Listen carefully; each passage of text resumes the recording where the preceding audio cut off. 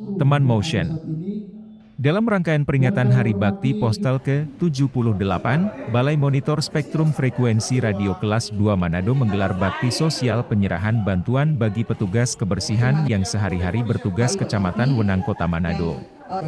Penyerahan bantuan bagi puluhan petugas kebersihan ini berlangsung di kantor Camat Wenang pada selasa siang, dan disaksikan Sekretaris Camat Wenang Stephen Mongkau bersama perwakilan pemerintah setempat.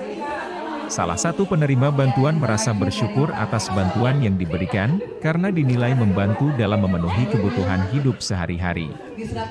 Bakti sosial kali ini mengangkat tema, Tebar Kepedulian Ciptakan Kebersamaan, dan merupakan kegiatan kolaborasi bersama Balai Monitor Spektrum Frekuensi Radio Kelas 2 Manado.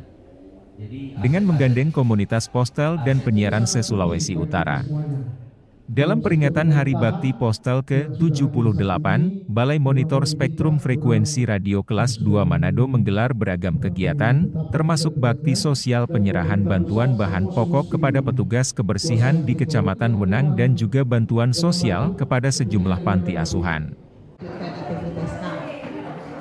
Sekali lagi mewakili Bapak Ibu di Kecamatan Wenang, kami mewakili Balai Itu dua.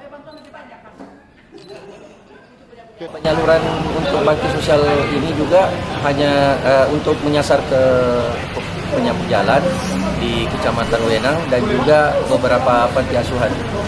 Uh, selain untuk uh, menyemarakkan peringat, peringatan dari Hari Bakti Postal, kami juga mencoba untuk sedikit berbagi kepada masyarakat.